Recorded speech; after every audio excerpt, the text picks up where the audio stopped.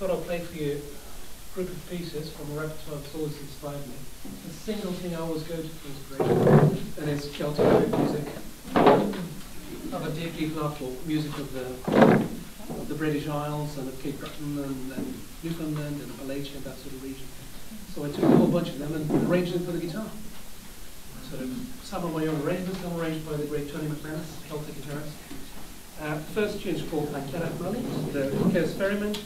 From Ireland. The next one is Si Bheag Si Mhor, um, uh, from Ireland again. The third tune is Chalanel from Asturias in Spain, another Celtic region. And the last one is my arrangement of E Banks and Brace, a Scottish ballad. Yeah, yeah, don't. Or do.